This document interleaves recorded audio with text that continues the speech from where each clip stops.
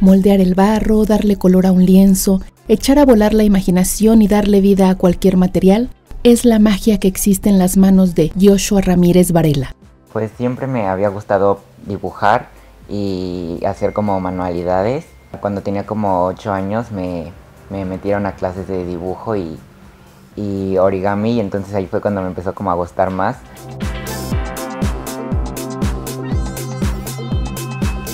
Se trata de un joven de 16 años de edad, de los cuales 8 ha dedicado al arte. Encontró un lugar donde refugia sus pensamientos. No lo quiero como una carrera, porque me gusta como nada más para como un pasatiempo. En 7 o 8 años no me imagino haciendo lo mismo como un pasatiempo.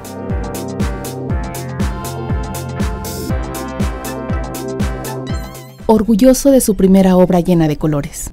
El primer cuadro que hice fue uno de una mujer con un turbante. Me, o sea, me quedó así casi como me lo imaginé, entonces estaba muy emocionado. Como el más especial porque fue el primero que hice.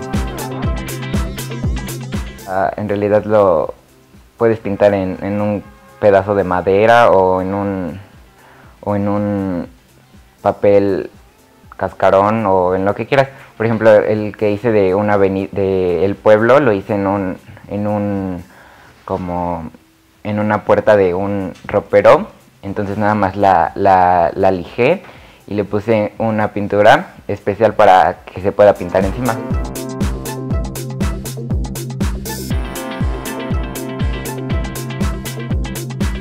Me han contratado para pintar salones de, de, escuelas y, y pues sí, sí me gusta hacerlos es como muy relajante hacer eso y aparte soy como muy paciente para hacer todo eso, entonces me gusta hacerlo.